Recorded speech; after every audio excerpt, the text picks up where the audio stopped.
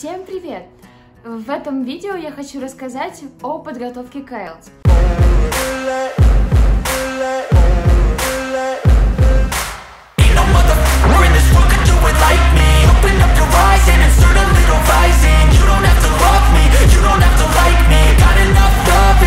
Ходила разными способами. Я готовилась самостоятельно, готовилась в языковой школе в Лондоне и проходила онлайн-курсы, направленные как раз на подготовку.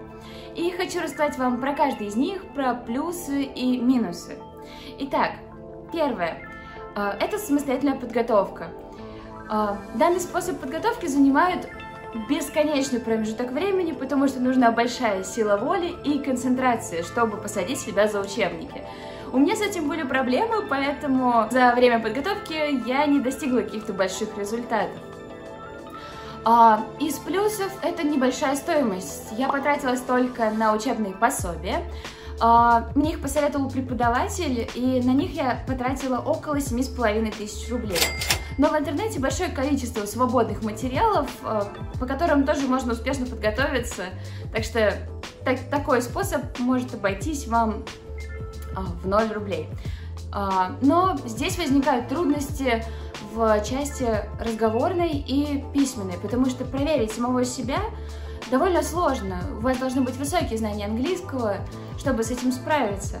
Однако в ваших силах познакомиться со структурой каждой из этих частей. На YouTube полно видео, посвященных а, этим частям экзамена. Что касается части аудирования и чтения, здесь все гораздо проще.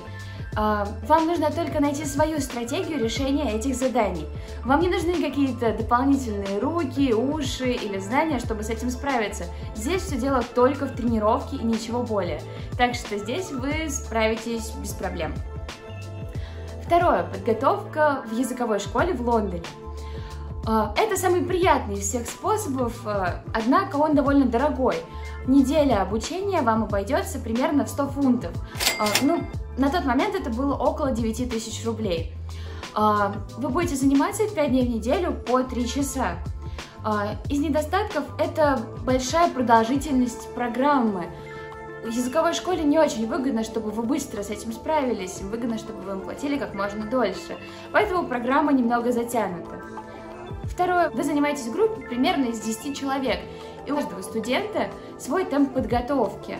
Плюсов, вас снабжают всеми материалами, вы находитесь в языковой среде, а, преподаватель проверяет не только то, что вы говорите, но и как вы это говорите.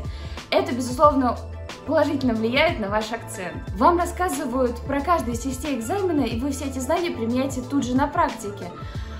Однако, как я уже говорила, эта история очень затянута, и ваша подготовка таким способом может затянуться э, на 3 месяца.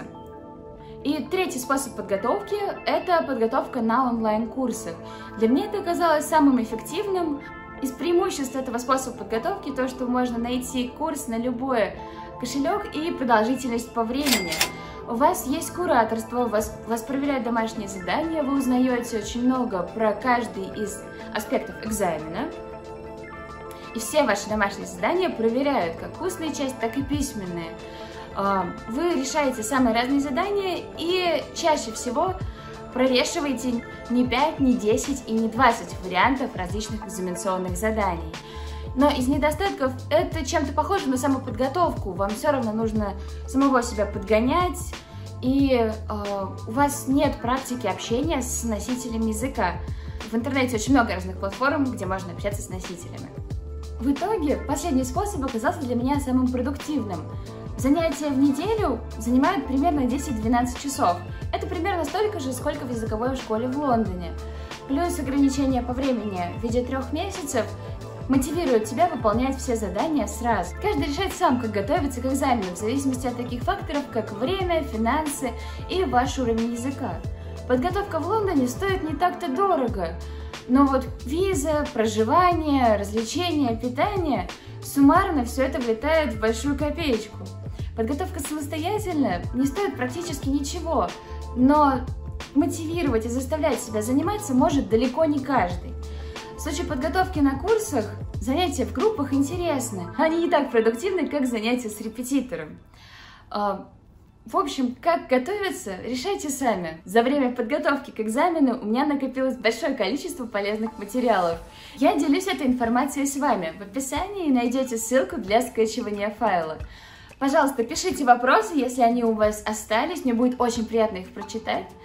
Также будет приятно, если вы подпишетесь. И до новых встреч! Всем привет! Эм, я очень рада видеть вас... Я вас не вижу.